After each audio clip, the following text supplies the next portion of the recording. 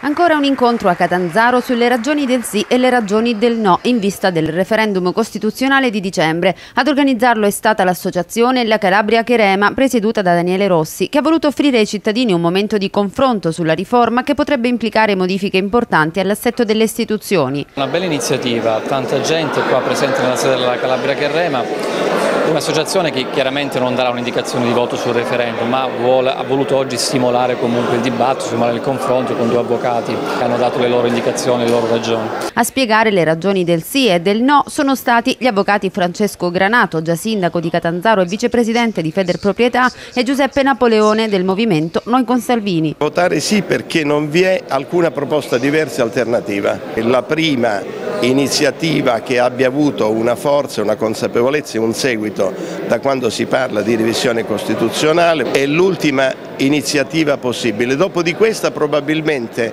sarà difficile che ci sia un'iniziativa così forte, così determinata come quella che è stata messa in questo momento in piedi da questo governo. Secondo voi che sostenete le ragioni del no, non sempre il cambiamento è sinonimo di miglioramento? No, assolutamente, specie eh, quando si fanno dei cambiamenti che devono essere a mio avviso largamente condivisi certi cambiamenti, specie questo della Carta Costituzionale che regola la vita di tutti i giorni della nostra comunità, deve essere largamente condivisa e a parte gli aspetti tecnici è stata quasi una riforma eh, imposta.